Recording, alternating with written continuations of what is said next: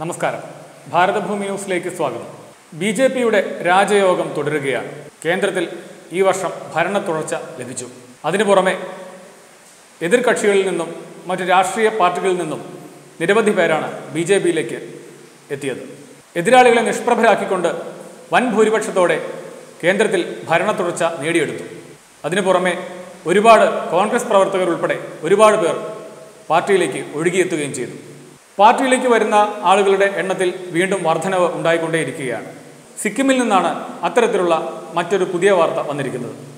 Sikkim democratic ഫ്രണ്ടിന്റെ M L എമാർ B J പിയിലേക്ക് എത്തിക്കഴിഞ്ഞു. ഒന്നും രണ്ടുമൊന്നുമല്ല പത്ത് എം എൽ എമാരാണ് പാർട്ടിയിലേക്ക് മാറിയിരിക്കുന്നത്.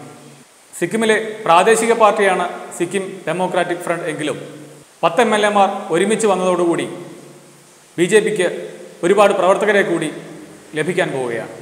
ന്യൂഡൽഹിയിലെ പാർട്ടി ആസ്ഥാനത്ത് നടന്ന ചടങ്ങിൽ B J P working president J P Nadda എല്ലാവരെയും അംഗത്വം നൽകി സ്വീകരിച്ചു.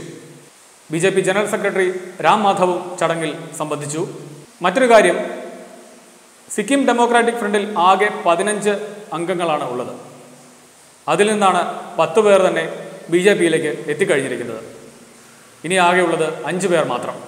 സിക്കിമിലെ കഴിഞ്ഞ നിയമസഭാ തെരഞ്ഞെടുപ്പിൽ ഒരു സീറ്റും നേടാതിരുന്ന ബി ജെ പി ഇപ്പോൾ സംസ്ഥാനത്തെ പ്രതിപക്ഷം തന്നെയായി മാറിയിരിക്കുകയാണ്.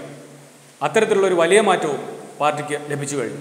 സിക്കിം നിയമസഭയിൽ ഇപ്പോൾ മുപ്പത്തിരണ്ട് അംഗങ്ങളാണ് ഉള്ളത്.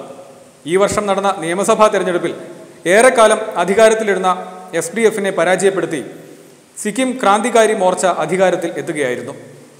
എസ് കെ എം പതിനേഴ് സീറ്റും സിക്കിം ഡെമോക്രാറ്റിക് ഫ്രണ്ട് പതിനഞ്ച് സീറ്റുമാണ് തിരഞ്ഞെടുപ്പിൽ നേടിയത്.